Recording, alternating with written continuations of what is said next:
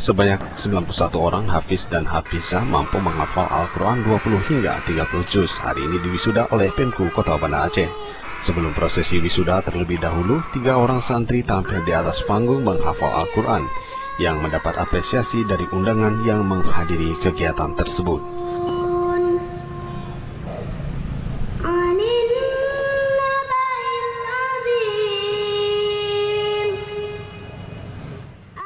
Kegiatan wisuda kali ini sekaligus Pemko Banda Aceh meluncing Banda Aceh menghafal Al-Quran One Day One Ayat.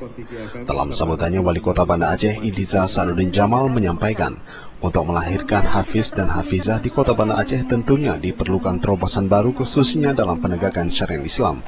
Berdasarkan data survei tahun 2009, 40% pelajar di Kota Banda Aceh tidak mampu menghafal Al-Quran. Berdasarkan data tersebut, Pemko Banda Aceh terus berupaya dengan program diniyah di sekolah-sekolah.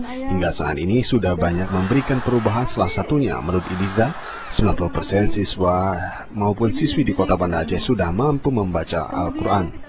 Hari ini para alim ulama, tokoh-tokoh masyarakat, para generasi muda, tadi kita di hadapan kita anak-anak semua berdoa dengan syair Rahman ya Rahman Bagaimana kasih sayang Allah kita berharap mendambakan kasih sayang Allah dengan curahan hidayah agar kita bisa diisi hati kita dengan Al-Quran, dibersihkan hidup kita dengan Al-Quran, dilimpahkan cahaya Al-Quran dalam kehidupan kita, mata kita, telinga kita, tangan kita, kaki kita, sehingga semua yang kita lakukan hanya mengharap mardotillah, mengharap ridha Allah SWT.